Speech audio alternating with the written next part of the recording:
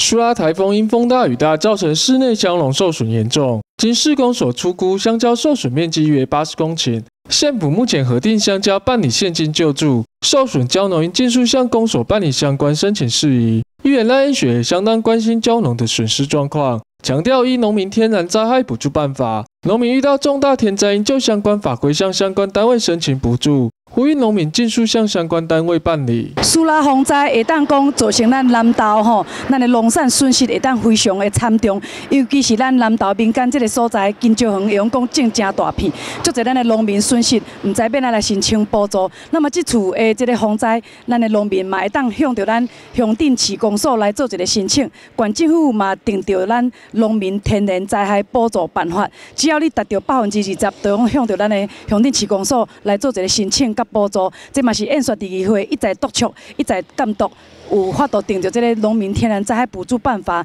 来为咱农民做一个保障。院也表示，苏拉台风刚走，天平台风又即将穿台而过，呼吁农民应提早做好预防跟准备。避免造成辛苦耕耘的农民更大的农业损失。我感觉讲农民非常的辛苦，尤其这个风台拄走了呢，下一个风台马上要过为台湾由中间来穿过，因说伫遮嘛要呼吁到咱的农民吼，会当提早做好预防甲准备，以免着咱农民咱的农业的损失会个更加严重。台风接二连三袭台，对于靠天吃饭的农民来说是相当大的损害。南投县是农业大县，县内大部分产业都与农业有关。希望相关单位能重视农民权益，别让辛苦工作的农民白费心血、血本无归。民意新闻杨志凯南投采访报道。